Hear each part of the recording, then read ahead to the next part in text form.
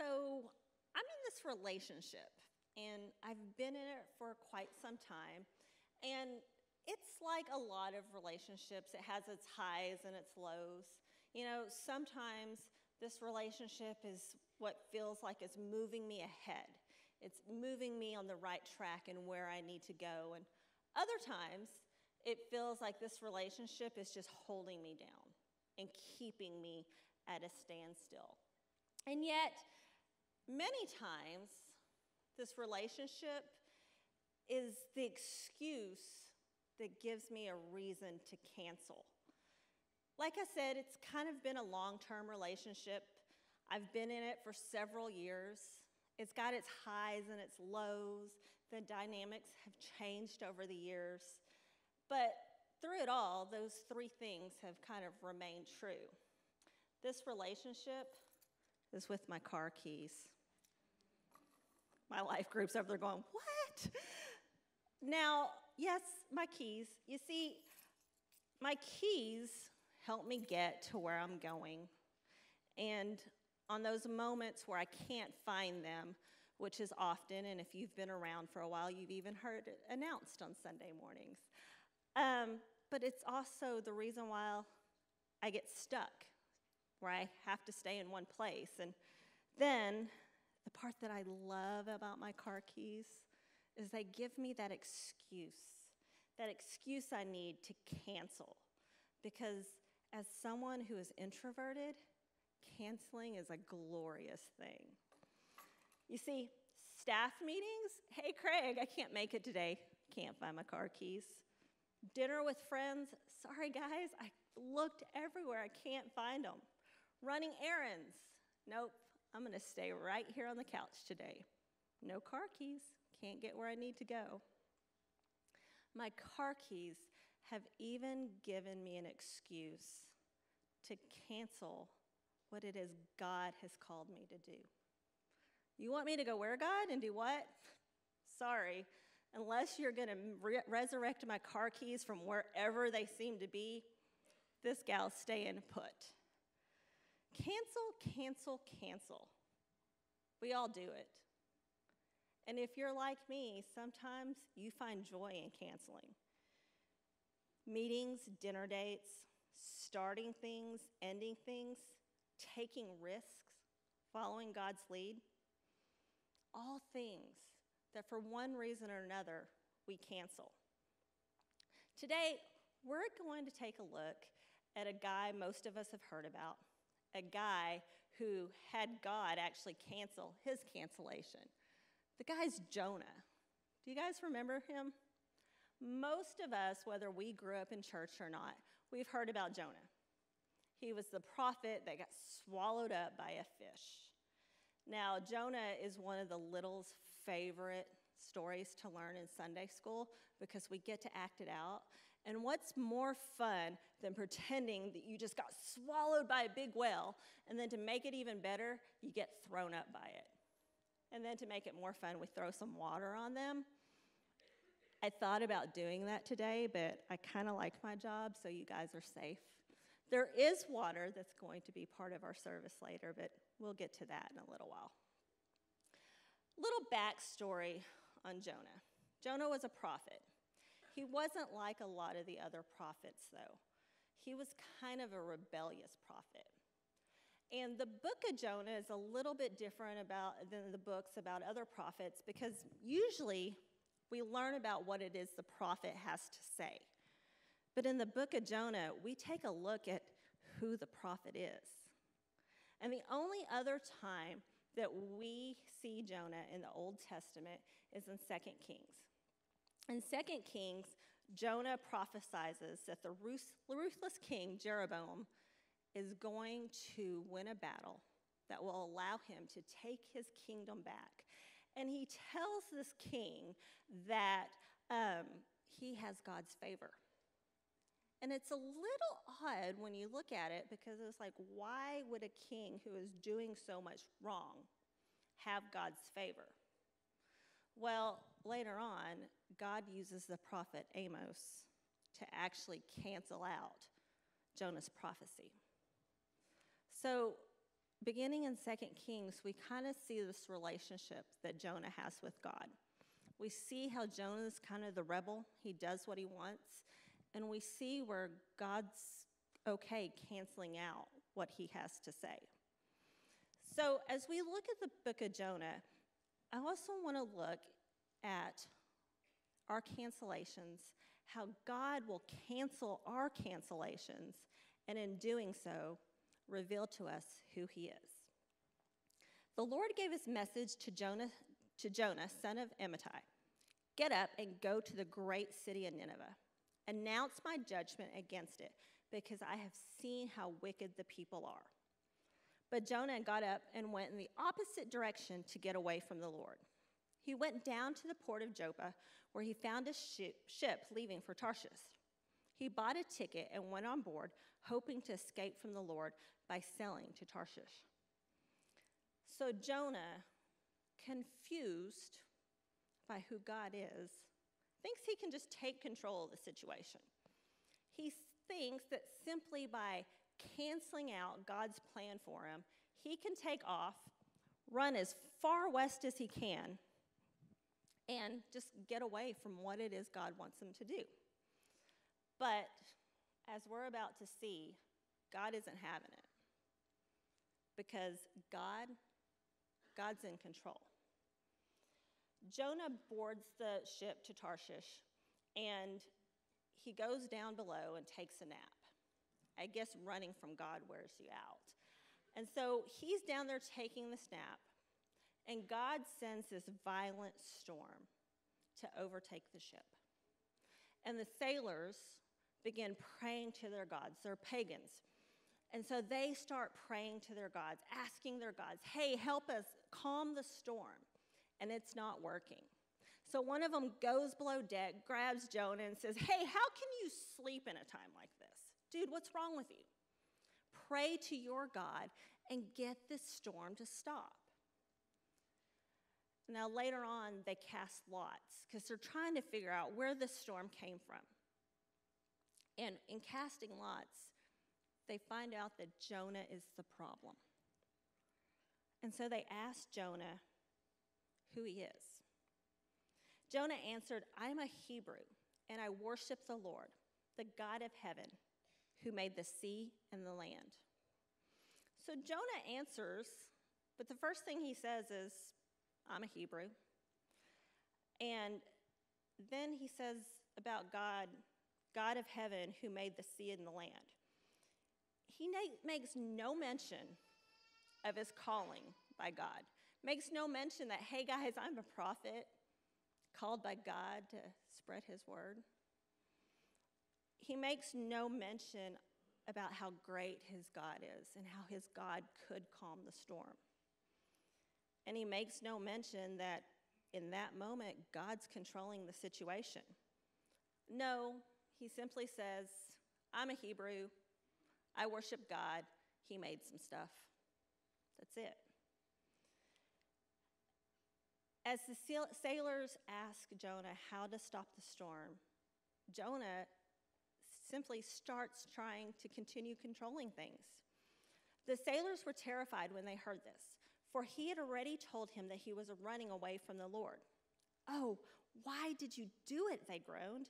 And since the storm was getting worse all the time, they asked him, What should we do to stop this storm? Throw me into the sea, Jonah said, and it will become calm again. I know this terrible storm is all my fault. This whole time, Jonah makes no mention of God. He makes no mention of God's power. He makes no mention that he's a prophet. And in that moment, he still tries to control the situation. Because if they throw him over, he didn't jump, they threw him. His blood is on them. And if they throw him over and he drowns, guess what? He still doesn't have to go to Nineveh. Problem solved. Does that sound familiar to you guys? Trying to take control of a situation. Plan A didn't work, so I'm to go with plan B. Plan B didn't work, so I'm to go plan, with plan C. Plan C didn't work, so what's C, D, or D, E, F, G, and on and on and on. That's kind of what Jonah's doing. My oldest child is a senior in high school this year. How we got here already, I have no clue. And if you talk to Wolf and you ask him where he wants to go to college, his first comment is Texas A&M. And then he'll tell you University of Texas. Third choice is Rice. Fourth choice, I believe, is SMU. Do you see a pattern here? That boy wants to get south, and that boy wants to get to Texas, and that boy wants to go to an extremely large school. Now, a lot of my friends will ask me, like, are you going to let him go? Are you going to let him go that far away? How can you do that? And as much as it pains me for him to be that far away from me, I'm not in control. You see, when God gave me this little boy 17 years ago, it wasn't so that I could control him and I could write his story. God entrusted me to raise a man who would love God and be courageous enough to rely on his faith. So that means taking the pen out of my hand and allowing God to be in control. What I'm finding in parenting is it's not about me. You know, when they're little, it's easier. When they're little, like with my eight year old, I can tell them when to go to bed. I can tell him what to eat. I can tell him to do his homework. But when your kids get older, that gets harder. They become middle schoolers. And if you've never been around middle schoolers, they like to talk back. And those middle schoolers become high schoolers. And when they become high schoolers, they too get this relationship with their keys. And everything changes. I can track him on Snapchat, Life 360, and find a friend all I want. And yes, I do. But just because I know where he is doesn't mean I can control the situation. I've got to leave that up to God. And this time next year, when I drop him off in Texas, I've got to understand that God is still in control. And as we go back to our story, there's a group of people who start to understand that God is in control. The sailors rowed even harder to get the ship to land, but the stormy sea was too violent for them, and they couldn't make it. Then they cried out to the Lord, Jonah's God. Oh Lord, they pleaded, don't make us die for this man's sin, and don't hold us responsible for his death. Oh Lord, you have sent this storm upon him for your own good reasons. These sailors, pagans, did what Jonah could not do. They acknowledged who God was and that He was in control. And for whatever reason, they knew that He was using this moment for something, something He only knew. So let's take a look at this. Jonah was man, God created man. God created Jonah. God created everything, including the very seas that Jonah had just thrown himself into. Did Jonah really think that the God who created heaven and earth and everything around us could not control the sea and put a cancellation to his plans?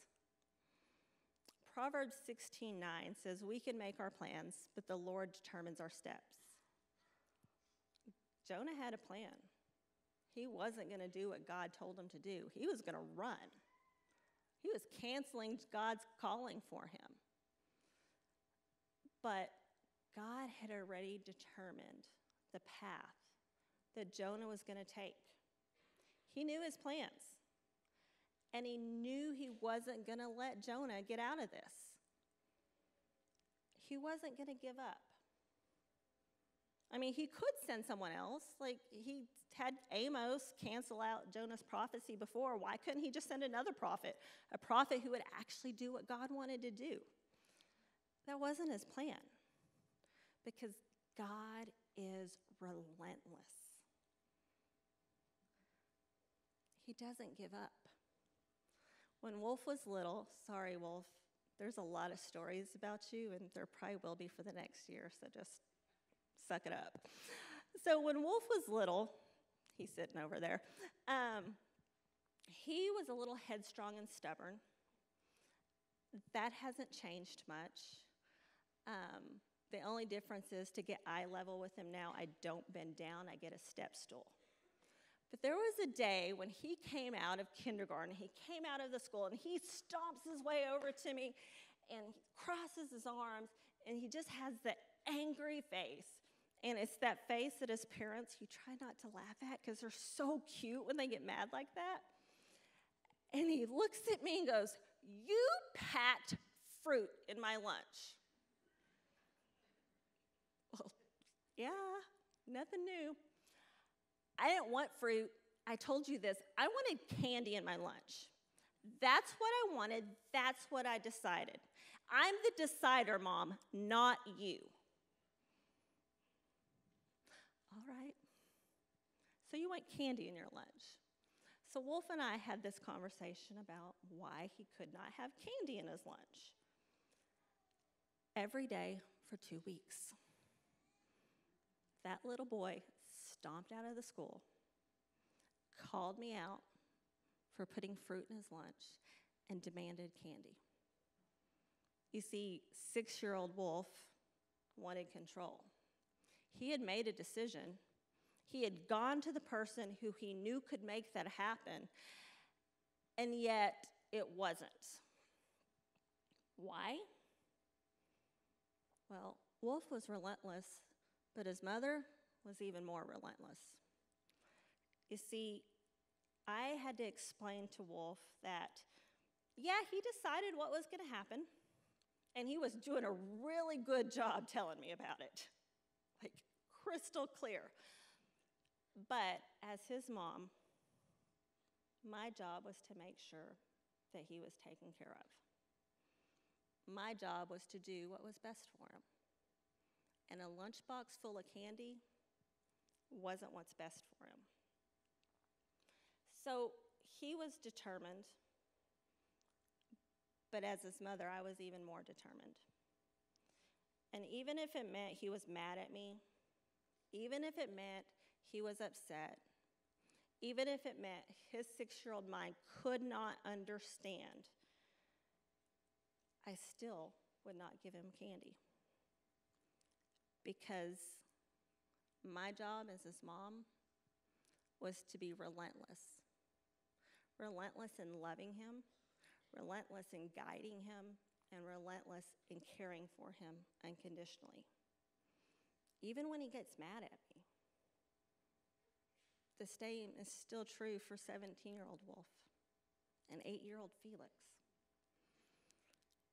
God's the same way with his children. He's relentless. When we run, He follows. When we question, He answers.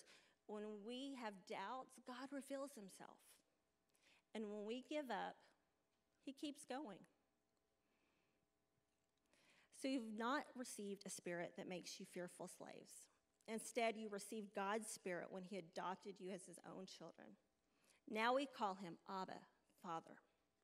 For His spirit joins with our spirit to affirm that we are God's children. And since we are his children, we are his heirs. In fact, together with Christ, we are heirs of God's glory. But if we are to share his glory, we must also share his suffering. You see, at the end of the day, God's giving us something better than the candy that little boy wanted. He's giving us something better than we can give ourselves, something far greater than we're ever going to see on this side of heaven.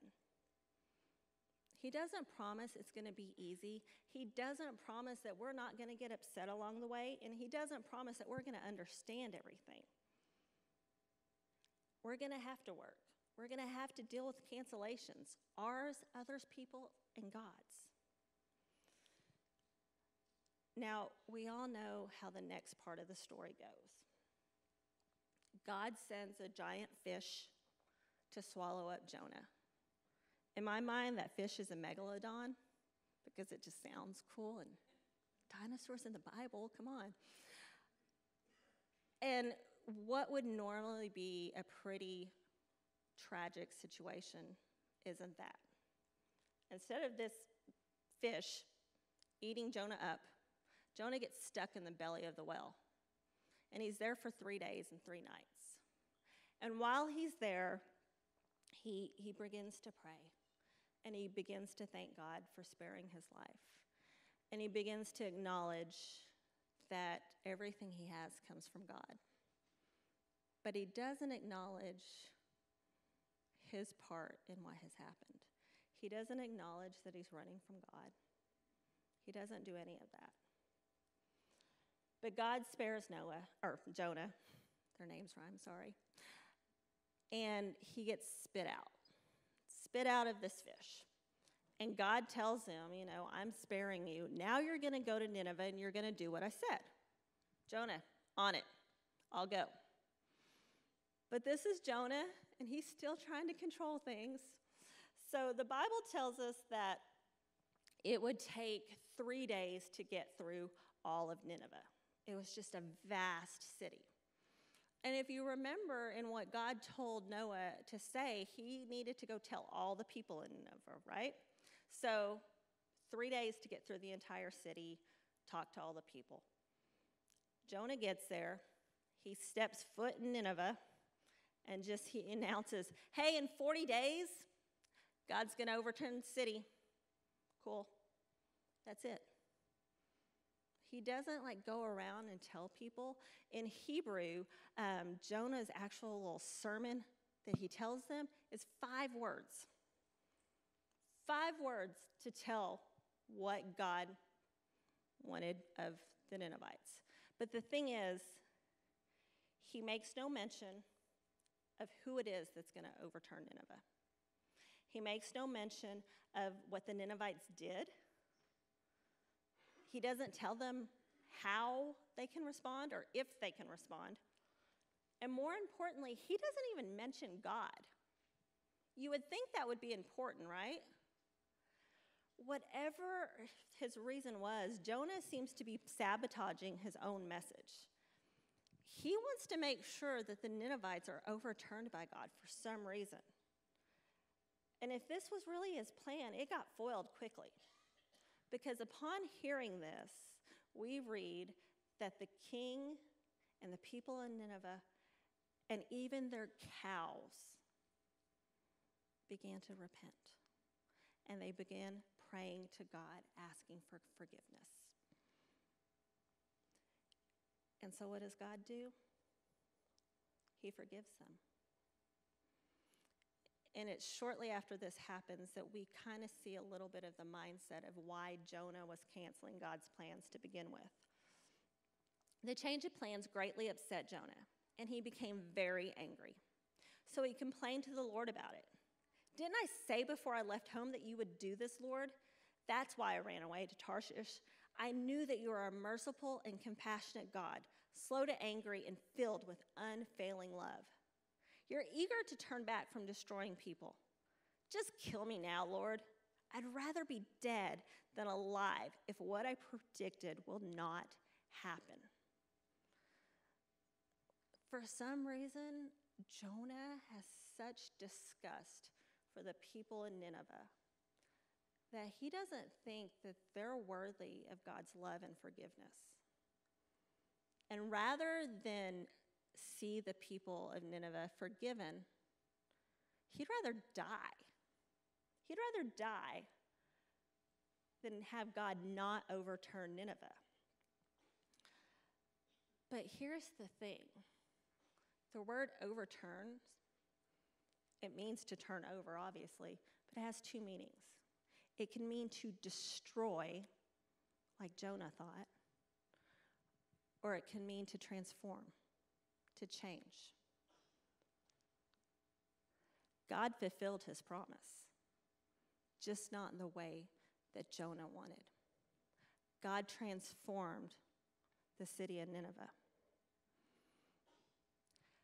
You know, somewhere along the lines, we're all a little like the people in Nineveh. We mess up, we make mistakes. And somewhere along the lines, we're going to cross paths with people like Jonah who don't think we're worthy of God's love. And sometimes we're the people who are like Jonah. Sometimes we think that because of our past mistakes, because of our iniquities, our size, shape, level of education, lack of education, fill in the blank with whatever you want, we are not worthy. We get confused by all the noise. And that's when God steps in, cancels what we've canceled, and reminds us that God is a loving father to all of his children. How many times have you canceled something based on fear? How many times have you canceled something based on thinking you couldn't do it? My keys. Just a few weeks ago, these little things came into play for me. It was actually a week ago. I got a phone call from a friend, and um, he let me know that the time had come, without going into too many details, but I needed to be somewhere. And it was important to get there. And this horrible feeling of fear and dread just filled me. And um, I said, okay, you know, I'll be there when I get there. Start searching for my keys. And lucky me, they're nowhere to be found. So I text him, hey, can't make it. I can't find my keys. And so, like, he texts back almost immediately, I'll send an Uber. No, don't send an Uber. Let me look, okay? All right, like 30 minutes or so. If we don't hear from you, we'll just send the Uber. So uh, put my phone down and I look down, and there are my keys on the floor by my feet. I promise you, they weren't there 10 minutes ago. All right, so how am I going to get out of this now? Oh, the time. I can't go. Visiting hours are over. So I text him back, hey, I cannot come. I found my keys. Visiting hours are over. How about I just come tomorrow? Hey, Michelle, um, already let the nursing staff know you're on your way. They're going to let you in. It's important. Get here. So I went. And it absolutely sucked.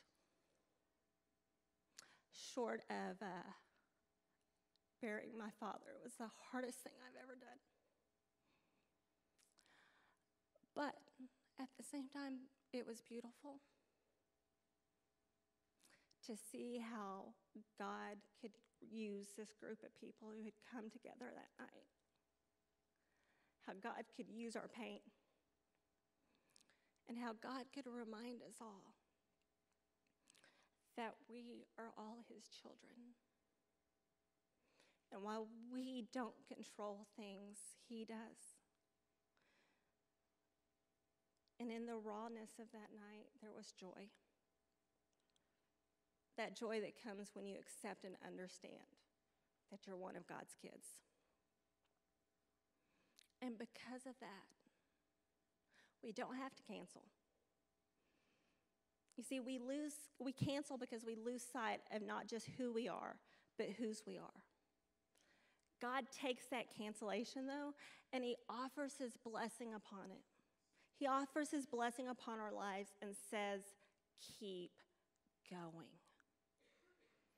In his letter to Galatians, Paul writes this For you are all children of God through faith in Christ Jesus. And all who've been united with Christ in baptism have put on Christ, like putting on new clothes. There's no longer Jew or Gentile, slave or free, male or female. For you, for you are all one in Christ Jesus. And now that you belong to Christ, you are the true children of Abraham. You are his heirs, and God's promise to Abraham belongs to you. The last few weeks have been fun. We've had a lot of kids get baptized, infants, and what's been my favorite part is seeing our elementary school aged kids get baptized. Many of you may remember um, McKinley, who got baptized a few weeks ago. McKinley was just beaming. I have never seen a smile so bright. And it wasn't because she had this pretty dress on, it wasn't because grandma gave her a new diamond necklace. It was because in that moment, she knew that she was a child of God. And in that moment, she was getting her new clothes in Christ. It was a moment for those of us who were there that brought tears to our eyes, happy tears, including to the pastor who was baptizing her. And McKinley is one of our third graders here. And that joy is still radiating from her. Last week, she came up to me and she's like, Miss Michelle, guess what? Was like, What, McKinley? I got baptized two weeks ago. And tomorrow's my birthday. Life is amazing. Today, she was a little girl running out of here at nine o'clock, happy as can be. Why? Because she knows who she is. In Matthew, we read about Jesus' baptism, how, as the Son of God was dipped into the river and lifted, this happened. After his baptism, as Jesus came up out of the water, the heavens were open, and he saw the Spirit of God descending like a dove and settling on him.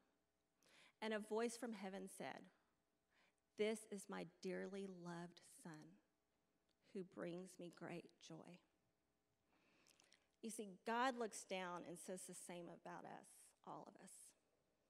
Despite our past, despite our presence, in spite of our cancellations, He whispers, this is my beloved. Now, Felix, my other son's middle name is Cross. Felix Cross Bonnewell. And if you ask Felix Cross why his middle name is Cross, he'll tell you this My mommy wanted me to always remember who I belong to. You see, his identity isn't found in his name.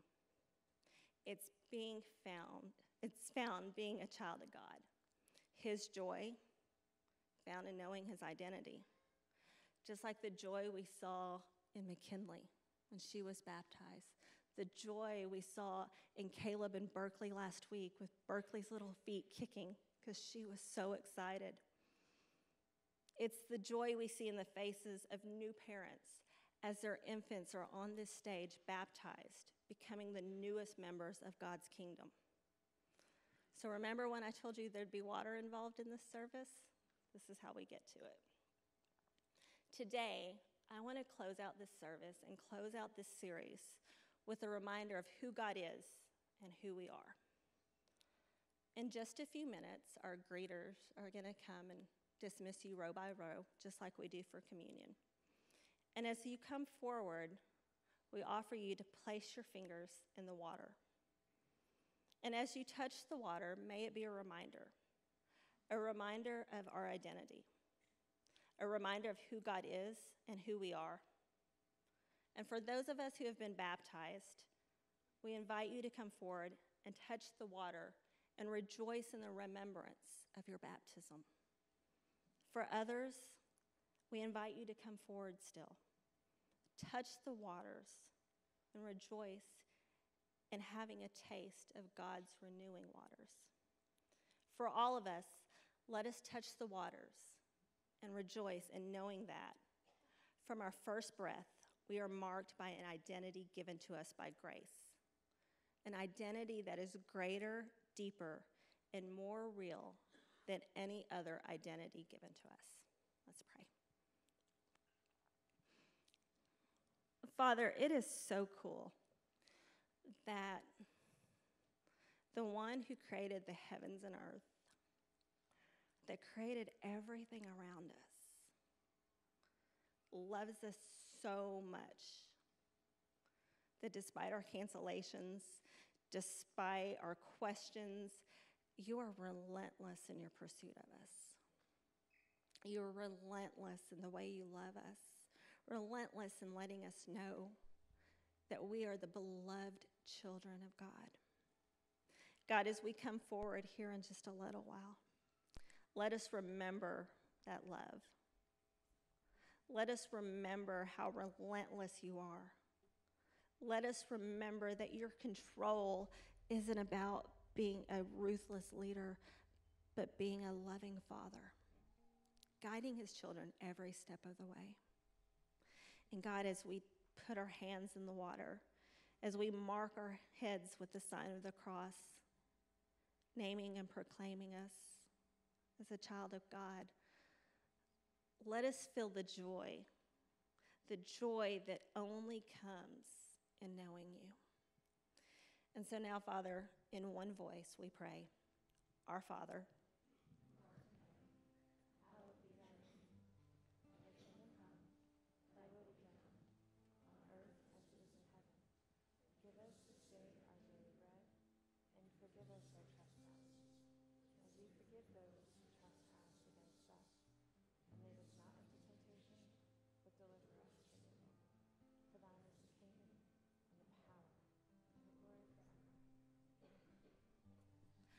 Our greeters are going to dismiss you row by row. And as you come up and you touch the water and you mark your forehead with the sign of the cross, let it be a joyful moment. AJ and the band are going to be playing a song that's upbeat. So do what you feel led to do. If you feel like singing, sing. If you just feel like smiling, smile. If you feel like dance, do it. Let us come forward and remember who we are.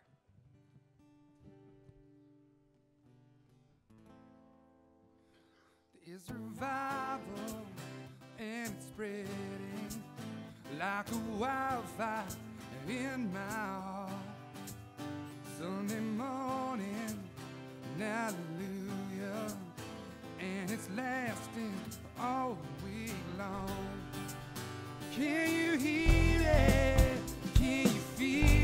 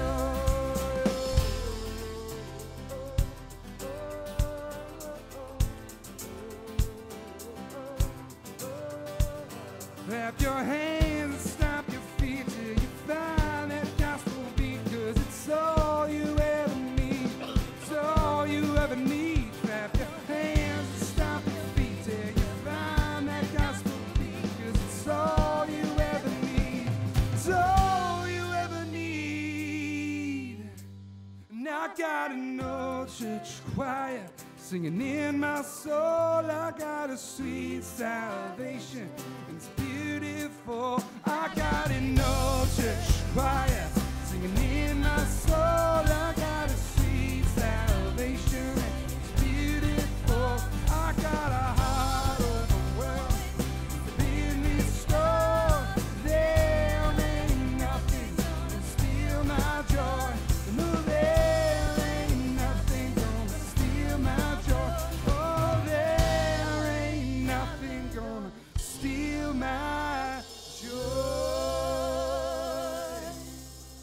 thank you so much for being here this morning. As you uh, head out, a couple things just to uh, keep in mind. If you uh, are thinking about baptism, maybe the, the water up front has reminded you that, uh, or make, uh, brought you to the point where you think maybe that's the right thing for you. We have a baptism class this Tuesday.